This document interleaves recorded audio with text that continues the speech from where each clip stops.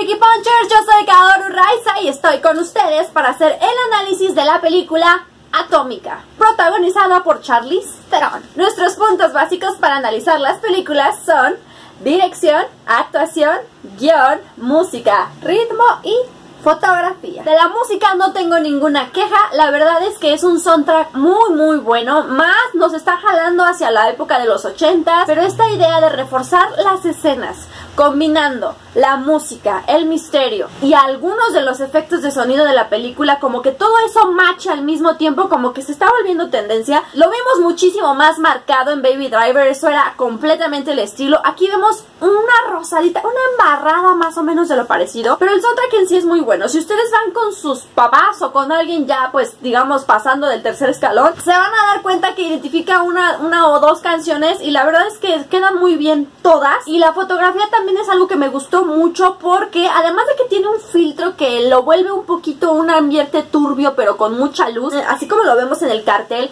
que puedes ver de verdad su cabello rubio, pero rubio casi pegándole al plateado, pero al mismo tiempo se ve sobre este aspecto como azul que lo hace ver un poco más este turbio. Todo el bar, la habitación en donde ella se queda, las calles de Berlín, en la casa en donde vive el personaje de James McAvoy, todo me pareció estupendo, espléndido. Esta es una de esas producciones en las que de verdad cuidan cada detalle en cada uno de los escenarios. Ahí sí puedo decir que me gustó muchísimo todo. Bueno, y el los vestuarios, lo que usaba Charlize Theron era así de wow, yo quiero esas botas. De las actuaciones, pues bien decíamos que en cuanto, pues bien decíamos, hoy en día James McAvoy ya se subió al tren en el que cuando lo ves en una película ya sabes que va a actuar como loco desquiciado, porque le sale bastante bien, porque sabe mezclar esa locura con esa psicosis y esa ese trauma, esa violencia interna que no le sale nomás porque es un desquiciado. Tiene, tiene esa facilidad de poder justificar precisamente estos arranques y de hecho me preocupa un poco, se está subiendo mucho a ese carril y va a ser muy difícil para él bajar. Lo estamos viendo desde Doctor Frankenstein, luego fragmentado, que me parece un trabajo increíble fragmentado, pero luego veo lo que hizo aquí y digo, ¿sabes qué?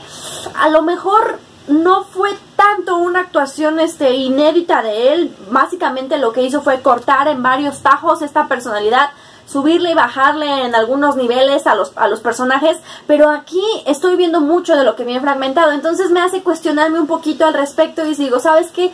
Creí que era la mejor, creí que era la mejor actuación de tu vida y me doy cuenta que pues la verdad parece que estás un poquito en tu zona de confort, parece que ya te estás instalando en esa zona de confort y no me gusta. Creo que tiene mucho que dar este actor.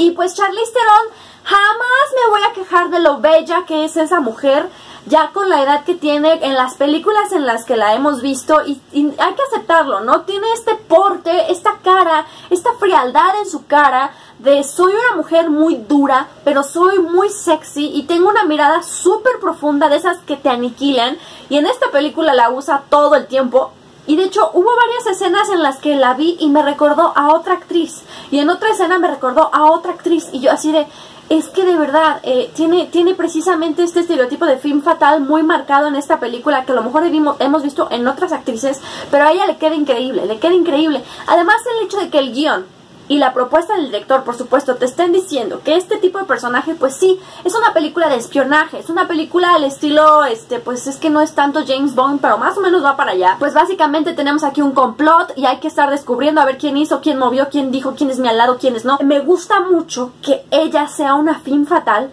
de las que se agarran a trancazos, pero además esos trancazos ya no van hacia el aspecto de, pues me tiro de un puente a otro y no me pasa nada la verdad es que hay escenas donde todos los golpes se ven geniales, se ven increíbles, se ven súper realistas y el hecho de que ella físicamente esté demostrando dolor, esté demostrando todos estos moretones, esté demostrando que está cansada, que está golpeando porque tiene que sobrevivir, eso le da un plus muy bueno a la película y a todas las escenas de acción, que hay una secuencia ahí, que hay un plano secuencia ahí con muchos trancazos que es maravilloso, es exquisito, lo disfrutas increíblemente. Tampoco se está saliendo mucho de lo que es esta zona de confort. Por ejemplo, lo que vimos en Fast and Furious 8 creo que lo estamos retomando en esta película con Charlize Theron, pero pues llevado al nivel de ahora sí soy yo la que va a dar los trancazos, ¿no? Y no solamente soy una hacker, de verdad soy soy una hija de mi eso. Luego el ritmo. Ahí es en donde creo que caemos en un problema, porque el ritmo se va a ajustar de una manera muy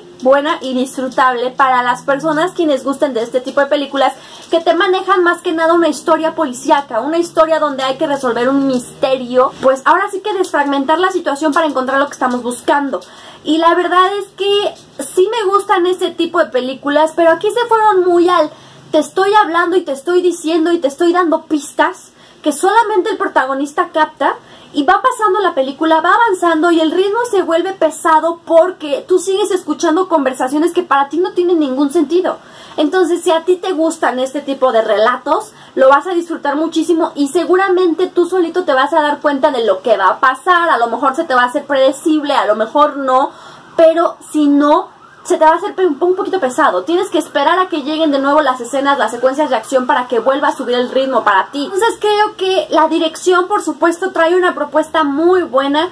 Todas las secuencias, todos los escenarios, el uso de la música, pues esta, esta manera de actuar muy contenida porque todos somos agentes y no queremos que nadie nos descubra, además de que estamos en un contexto histórico en el que de verdad la situación era bastante tensa, era muy, tengo que hacer las cosas con mucho cuidado porque de verdad estamos en un momento de guerra, se está planteando una realidad de mucha violencia, de mucha tensión política, donde los espías de verdad podían tardarse años en resolver un solo caso y podían pasar semanas, meses y ellos no tenían ninguna pista por lo reservados que eran las demás personas y con mucha razón. Entonces la película siento que el guion y el director se cuelgan mucho de eso y puede ser que la película se vea así como que, oye, ¿sabes que Me encanta la producción, me encanta la música, me encanta Charlize Theron, pero la verdad es que como espectador no estoy logrando hilar nada en mi cabeza.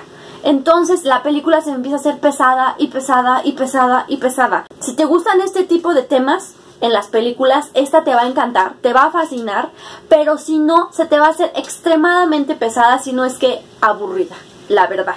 Yo sí lo confieso abiertamente, perdí el sentido en algún momento, me dormí, pero después, insisto, cuando llegan las escenas de acción, pues recobras. El problema es que no son escenas que duren todo el tiempo. Y esta parte del misterio sí se alarga muchísimo más a lo que es una pequeña secuencia de acción.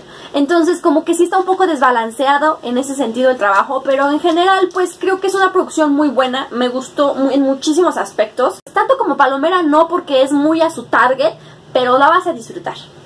Muchísimas gracias a todos por sus comentarios. Como ya se dieron cuenta, pues he estado un poquito ocupada, pero Altair me está ayudando con toda la cobertura de las películas y para poder platicar de ellas en el canal.